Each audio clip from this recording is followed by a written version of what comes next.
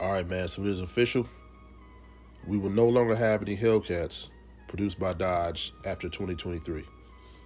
One thing I was looking for them to say is that they will possibly send off the Chrysler 300 with a Hellcat version, but we are still yet to find that out.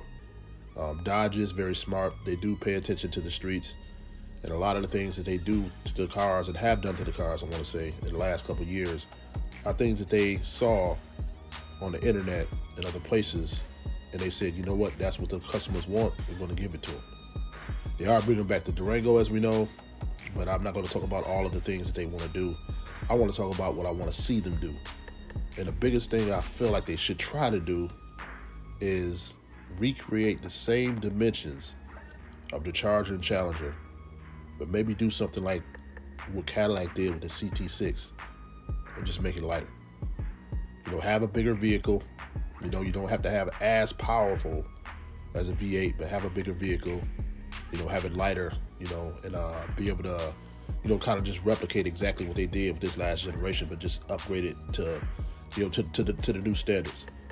The look of the new Dodge Dart looks a lot like the Charger in the front. That's one thing that I'm, I'm hoping they're gonna hold on to because they did such a good job with it. Maybe do something like what BMW does and never really drastically change the front look of the car. You know, just enhance it, you know, to fit the times. You know, and I, one other thing I really, really want to see, man, like I said, is that Chrysler 300, man, that Chrysler 300 Hellcat. I know a lot of people would buy it.